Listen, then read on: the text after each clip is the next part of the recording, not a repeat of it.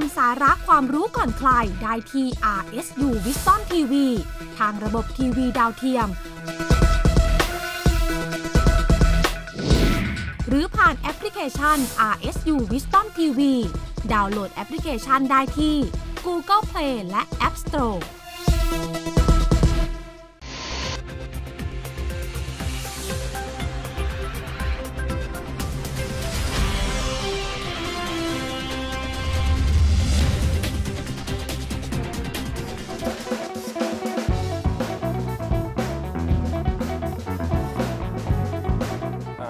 สำหรับความเห็นของผมต่อการมีทีวีดิจิตอลในประเทศไทยนะครับก็อาจจะต้องบอกว่าทีวีดิจิตอลเข้าอยู่ในสุขยุคที่มีความจำเป็นอย่างยิ่งยวดที่จะต้องมี เพราะว่าภายในปี 2560 เนี่ยเอ่อทั่วภูมิภาคอาเซียนนะครับหรือว่าจริงๆแล้วทั่วโลกเนี่ยนะครับก็จะตัดระบบทีวีอนาล็อกเดิมนะครับเพราะฉะนั้นการมีทีวีดิจิตอลในตั้งแต่ช่วงปี 57 58 59 รอยต่อมาเนี่ยนะครับเพื่อเตรียมความพร้อม ดังนั้นมันคือการใช้ทรัพยากรเทคโนโลยี คลื่นวิทยุโทรทัศน์เนี่ยครับอย่างเกิดความคุ้มค่ามากที่สุดนะครับอีกอย่างหนึ่งก็คือความจำเป็นของมันอีกที่ต้องทำให้ตัวผู้ประกอบการมีจำนวนขยายขยายตัวมากขึ้นนะครับเพราะว่าจำนวนผู้ประกอบการเดิมเนี่ยมีลักษณะของการกระจุกตัว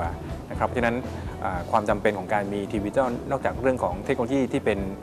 พันธสัญญาของต่างๆประเทศนานาประเทศแล้วเนี่ยนะครับมันยังคือเรื่องของการขยายความสามารถทางเทคโนโลยีให้เกิดประโยชน์อย่างสูงสุดนะครับแล้วก็ทีวีดิจิตอลเนี่ยนะครับถ้าเกิดว่าประโยชน์อันที่ 3 ก็คือที่จำเป็นต้องมีก็คือว่า มันคือการขยายโอกาสของการเข้าถึงข้อมูลข่าวสารของประชาชนในภูมิภาคที่อาจจะยังมีปัญหาเรื่องของระยะทางนะครับความทุรกันดารนะครับหรืออาจจะตอบโจทย์ไปใหม่ทางธุรกิจการตลาดเทคโนโลยีนะครับหรือว่าการการค้าเชิงพาณิชย์ เพราะฉะนั้นในประเทศไทยเนี่ยการมีทีวีดิจิตอลในช่วงนี้เนี่ยจึงถือว่ามันเป็นภาระเฉพาะหน้าด่วนมากนะครับเพราะว่ามันคือการปฏิวัติ มันคือปลายทางรถไฟขบวนสุดท้ายของเทคโนโลยี ถ้าเราไม่ใช้ทีวีดิจิตอลตอนนี้เนี่ยเราก็จะตกขบวนล่าช้าในเชิงเทคโนโลยีไปนานนะครับแล้วก็ที่สำคัญก็คือว่าโอกาสของการแข่งขันของผู้ประกอบการทีวีดิจิตอลเนี่ยนะครับมันจะกระจายตัวออกนอกไปสู่ประเทศอื่นๆนะครับภายใต้ภายใต้ภูมิภาคนี้นะครับต่อไปเราจะต้องพูดว่าทีวีดิจิตอลเนี่ยมันได้ออกอากาศในระดับโลกด้วยซ้ำไปนะครับเพราะฉะนั้นนั่นเป็นสิ่งที่ก็เป็นนิมิตหมายที่ดีนะครับที่ทำให้ความจำเป็นของมีทีวีดิจิตอลเนี่ยนะครับก็จะต้องฝ่าฟันไปให้ได้นะครับโดยเฉพาะกสทชกับการแข่งขัน ของผู้เล่นในตลาดนะครับ ซึ่งก็ต้องเป็นไปอย่างเสรีและก็เป็นธรรมครับ ถามว่าทีวีดิจิตอลในประเทศไทยตอบโจทย์ของการมีได้มากน้อยเพียงใดนะครับ อันดับแรกต้องบอกว่าตอบโจทย์ได้ไม่มีประสิทธิภาพมากนักนะครับ เพราะว่าการเกิดทีวีดิจิตอลถึงแม้ว่าจะเป็นบั้นปลายของเทคโนโลยี แล้วเป็นรถไฟขบวนสุดท้าย แต่ว่ามันเป็นรถไฟขบวนสุดท้ายที่เกิดขึ้นในยุคที่เรามีเคเบิลทีวีครับแล้วก็ทีวีดาวเทียมค่อนข้างเยอะมากนะครับ ในตลาดระบบโดยรวมเนี่ยตอนนี้เรามีทีวีกว่า 728 ช่องนะซึ่งถือว่าเยอะมากนะครับต่อไปเราจะมีทีวีที่เป็นทีวีสาธารณะที่เป็น 12 ช่องให้บริการนะครับแล้วก็มีทีวีชุมชนอีก 12 ช่องนะครับแล้วก็ยังต้องแข่งขันกับทีวีที่เป็น social TV หรือว่าทีวีที่เป็นอินเทอร์เน็ตอีก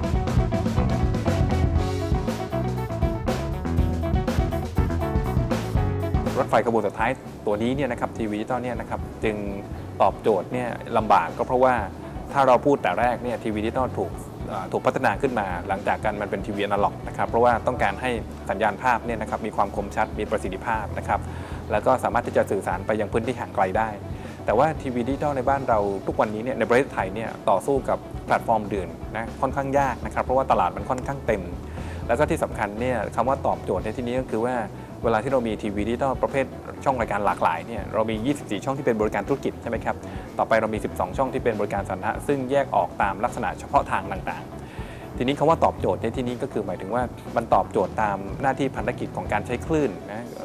ในประเทศไทยก็บอกว่าการใช้คลื่นเนี่ยเพื่อประโยชน์สาธารณะนะครับแล้วเราก็มีการตีความว่าประโยชน์สาธารณะเนี่ยมันมีหลากหลายรูปแบบนะครับ เพราะฉะนั้นการออกใบอนุญาตมากถึง 24 ช่องเนี่ยนะครับ แล้วก็เป็น 24 ช่องเชิงธุรกิจหมดเลยนะครับ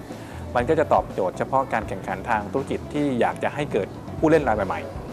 แต่ว่าสถานการณ์ผ่านไป 1 ปีเนี่ยถามว่าตอบโจทย์นั้นหรือเปล่านะครับคำตอบก็คือว่าตัวตลาดเนี่ยมันยังมีลักษณะของการกระจุกตัวอยู่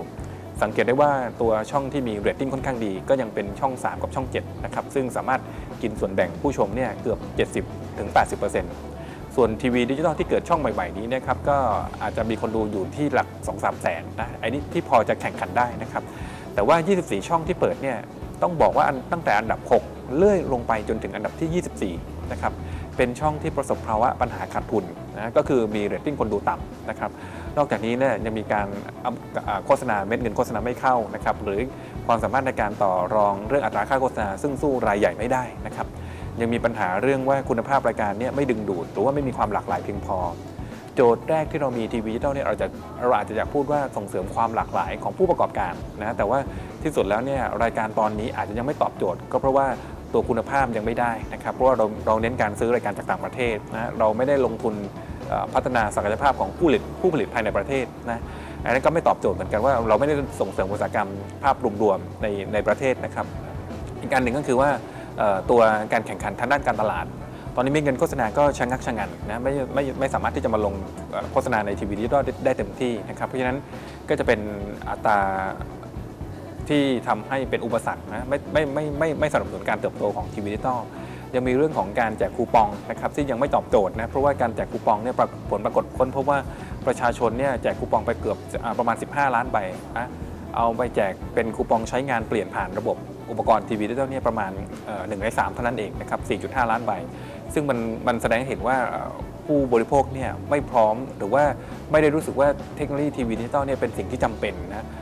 ที่มันเป็นแบบนี้เนี่ยเพราะว่าโจทย์เนี่ยมันมันมาล่าช้าครับ ก็คือว่าเรามีทีวีเคเบิลเคเบิลทีวีกับทีวีดาวเทียมมาก่อนนะครับ แล้วก็พฤติกรรมเอ่อหรือว่าตัวแปรหนึ่งที่สำคัญก็คือตัวพฤติกรรมผู้บริโภคที่ตอนนี้เนี่ยเสพรับสื่อหลายช่องทางนะครับพฤติกรรม multi-screen เพราะฉะนั้นการจะตอบโจทย์ว่าทีวีดิจิตอลทุกวันนี้เนี่ยมันมันตอบความคุ้มค่าของการมีคลื่นหรือยัง หรือมันตอบอตอบคำถามว่าดำเนินธุรกิจไปแล้วเนี่ยมันมีประสิทธิภาพนะมันคุ้มทุนของการลงทุนหรือเปล่า สองคำถามนี้ต้องบอกว่ามันยังไม่ได้ตอบแบบนั้นนะครับ แล้วก็จะบอกว่าประชาชนได้ผลประโยชน์มากขึ้นจากการมีทีวีดิจิตอลแล้วหรือยังคำตอบก็คือก็คือยังไม่ใช่ เพราะว่าการมีทีวีดิจิตอลเนี่ยมันคำนึงถึงเรื่องของความหลากหลายของ content นะครับแต่เราก็จะเห็นว่า content ของทีวีดิจิตอลทั้งหมด 24 ช่องเนี่ยมันละม้ายแล้วก็มันค่อนค่อนไปในทางเดียวกันนะครับเพราะฉะนั้นมันก็จะบอกว่าประชาชนแค่มี choice นะแค่มีทางเลือกมากขึ้นในการกดเลือกดู แต่ว่าในเชิงคุณภาพในเชิงความหลากหลายเนี่ยนะครับมันยังไม่ตอบโจทย์ครับ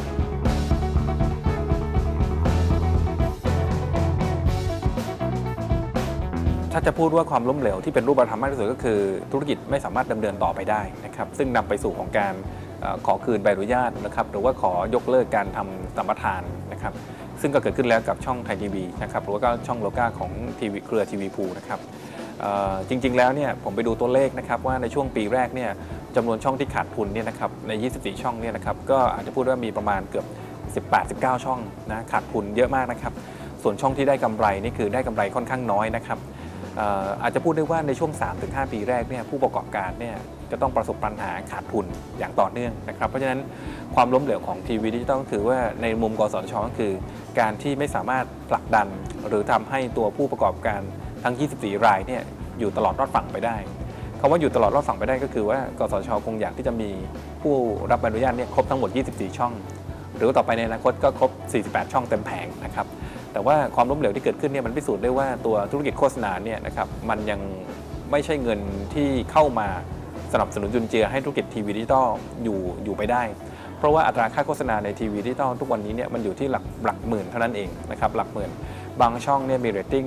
พอๆกับช่องทีวีดาวเทียมหรือว่าช่องเคเบิลทีวีด้วยซ้ำไปนะครับเพราะฉะนั้นตลาดมันค่อนข้างเต็ม ความล้มเหลวที่เกิดขึ้นจึงมาจากตัวความไม่พร้อมของผู้ประกอบการนะครับเช่น สายป่านทางธุรกิจสั้นนะครับ หรือรายการมีคุณภาพต่ำนะครับหรือไม่สามารถที่จะผลิตรายการที่มีลักษณะแตกต่าง หรือผลิตในประเทศได้นะครับทำให้ต้องนำเข้าหรือว่าต้องซื้อรายการจากต่างประเทศนะครับหรืออีกอันหนึงก็คือว่าบางช่องเนี่ยมีใบอนุญาตจำนวนมากนะถือในมือนะครับแต่ก็เอารายการเก่าๆ รายการซ้ำๆมารีรันนะทำให้ผู้ชมเนี่ยเกิดความรู้สึกว่าทีวีดิจิตอลเนี่ยคุณภาพมันต่ำนะครับเท่ากับอาจจะเป็นเคเบิลทีวีที่มีการฉายเวียนซ้ำกันในแต่ละวันเนี่ยค่อนข้างสูงนะครับ ความความไม่สำเร็จอีกอย่างหรือว่าอาจจะเรียกได้ว่ามันเป็นมาจากตัวไม่สามารถใช้ประโยชน์จากศักยภาพของทีวีดิจิตอลได้ จะเห็นว่าช่วงนี้เนี่ยเราโฆษณาแข่งขันกันเรื่องเลขช่อง หรือว่าโฆษณากันเรื่องภาพคมชัด แต่จริงๆแล้วในมุมมิตินี้เนี่ยในมุมผู้บริโภคเนี่ยไม่ได้ให้ความสำคัญนะครับจริงๆทีวีดิจิตอลเนี่ยมีศักยภาพมากกว่านั้นมากนะครับเช่นการทำระบบ Interactive TV นะครับคือดูทีวีแล้วมีปฏิสัมพันธ์ การทำระบบ EPG Electronic Program Guideline นะครับก็คือการเอื้ออนุญาตให้ผู้ชมเนี่ยสามารถจัดผังเวลาออกอากาศเองได้นะครับหรือการทำระบบ video on demand ก็คือสามารถดูรับชมย้อนหลังได้ หรือจริง ๆ แล้วทีวีดิจิตอลเนี่ยเป็นขุมทรัพย์มหาศาลนะครับสามารถทำระบบการประเมินคุณภาพรายการ การแสดงความคิดเห็นนะครับหรือแม้กระทั่งการเอาระบบ Television Commerce เอามาใส่ไว้ในรายการโทรทัศน์แต่ว่าตอนนี้เนี่ยผู้ประกอบการอาจจะ แข่งขันกันในช่วงเริ่มต้นนะครับก็เป็นการแข่งขันกันเรื่องความรู้จักความจดจำได้ แข่งขันกันที่หน้าตารายการ แข่งขันกันที่เดือการดึงตัวผู้ประกาศนะครับการดึงตัวดารานะครับเพราะฉะนั้นช่วงแรกแบบนี้เนี่ยแข่งแบบนี้เนี่ยอาจจะเจ็บตัวค่อนข้างมากนะครับเพราะว่ามันเป็นช่วงที่ตำน้ำพริกละลายแม่น้ำนะครับเพราะฉะนั้นความล้มเหลวเนี่ยที่ผมจะสรุปก็คือว่ามันมุ่งไปที่เรื่องของการมีจำนวนช่องที่มากเกินไป อันนั้นที่หนึ่งนะครับเพราะว่าคนดูพฤติกรรมคนดูคนไทยเนี่ยดูทีวีไม่เกิน 4-5 ช่องหรอกครับนะครับ ข้อที่ 2 ก็คือว่าตัวโมเดลทางธุรกิจเนี่ยมีการคาดการณ์ผิดพลาดนะครับ เช่น คิดว่าจะได้กำไรภายในปีแรกนะครับหรือว่าคิดว่าจะมีฐานผู้ชมคนดูเนี่ยเป็นหลักแสนแสน แต่ปรากฏว่าทีวีดิจิตอลหลายช่องเนี่ยทำคนดูได้เพียงแค่ต่ำกว่า 30,000 เป็นต้นไปนะครับครึ่งหนึ่งเนี่ยต่ำกว่า 30,000ถึง50,000เนี่ยนะครับซึ่งเรตติ้งพวกนี้เนี่ยมันไม่ประกันความคุ้มค่าของการดำเนินการธุรกิจเลยเพราะว่าธุรกิจทีวีดิจิตอลเนี่ยก็ลงทุนเรื่องคนนะครับเรื่องสตูดิโอเรื่องการซื้อรายการนะครับหรือว่าเรื่องของค่าใบอนุญาตเนี่ยสูงมากนะครับ และอันที่ 3 ก็คือเรื่องของการไม่ใช้ประโยชน์จากเทคโนโลยีนะครับ เช่นทีวีดิจิตอลเนี่ยคำนึงถึงเพียงแค่ตอนนี้นะครับแค่เรื่องภาพความคมชัด แต่ยังไม่ได้มองโจทย์อื่นๆ ว่าทีวีดิจิตอลทำอะไรได้มากกว่านั้นนะครับ อันที่ 4 สุดท้ายก็คืออาจจะเป็นเรื่องของการคาดการณ์พฤติกรรมผู้บริโภคที่ผิดพลาดนะครับ เช่น พฤติกรรม generation นี้ของคนนะครับซึ่งดูทีวีต่ำลงใช้เวลากับโทรศัพท์สมาร์ทโฟนมากขึ้นนะครับใช้เวลากับโซเชียลมีเดียนะครับไปมากพอสมควร ทีนี้พฤติกรรมคนรุ่นนี้เนี่ยไม่ดูทีวีแล้วนะครับหรือปฏิเสธการรับชมรายการทีวีในแบบเก่าๆนะครับเพราะฉะนั้นมันอาจจะบอกว่าความล้มเหลวนี่ก็คือว่าเรามองไม่เห็นสภาพภูมิทัศน์สื่อที่เปลี่ยนแปลงนะครับสภาพตลาดนะครับแล้วก็มองไม่เห็นโจทย์นะทางธุรกิจ ว่าจริง ๆ แล้วทีวีดิจิตอลเนี่ยจะจะทำให้มันคุ้มค่าเนี่ยนะครับคิดเปลี่ยนจากจากรูปแบบการทำธุรกิจเดิมๆนะที่เป็นทีวีนาล็อกเนี่ยทำได้ยังไงนะครับก็จะเป็นปัจจัยของความล้มเหลวทั้งหมดนะครับแต่ว่าสิ่งหนึ่งที่สำคัญก็คือว่า จำนวนช่องที่มีมากเกินไปจริงๆนะครับเราอย่าลืมว่าทุกวันนี้เนี่ยมันเป็น multi-platform นะครับประเด็นก็คือว่าคนดูเนี่ยไม่ได้สนใจหรอกว่ากำลังดูทีวีเป็นดิจิทัลหรือเปล่านะครับหรือกำลังดูรายการแบบเคเบิลทีวีหรือว่าทีวีดาวเทียม เพราะว่าผู้ชมไม่สนใจแพลตฟอร์มนะครับสิ่งหนึ่งที่ผมที่อยากจะฝากก็คือว่าปัจจุบันทุกวันนี้เนี่ยผู้ชมเนี่ยไม่จดจำชื่อช่องนะครับไม่จดจำตัววันเวลาออกอากาศนะครับเขาจะดูทีวีเมื่อไหร่ก็ได้ ตามที่เขาสะดวกนะครับและที่สำคัญก็คือว่า เขาจะดูผ่านแพลตฟอร์มที่เขาสะดวกนะครับเพราะฉะนั้นจริง ๆ แล้วคนที่อาจจะโชคดีหน่อยสำหรับธุรกิจทีวีดิจิตอลก็คือคนที่เป็น content provider ก็คือคนที่ผลิตรายการโดยตรงนะครับเพราะว่าเขาสามารถที่จะเลือกได้ว่ารายการของเขาเนี่ยสามารถที่จะออกอากาศช่องไหนได้บ้างนะครับผ่านแพลตฟอร์มไหนได้บ้างนะครับแล้วก็ไม่ต้องสนใจเรื่องมิติเชิงเวลาในการออกอากาศครับ